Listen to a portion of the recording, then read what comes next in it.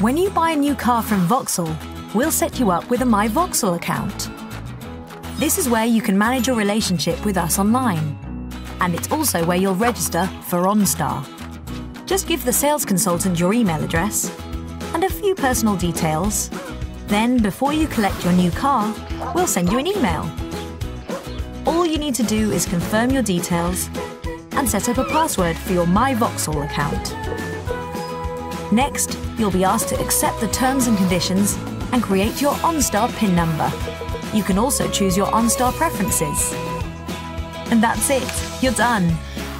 When you return to the dealership to collect your new Vauxhall, OnStar will work immediately. Press the blue service button to try it out. And start enjoying OnStar's features straight away. Welcome to OnStar. This is Peter. How can I help you?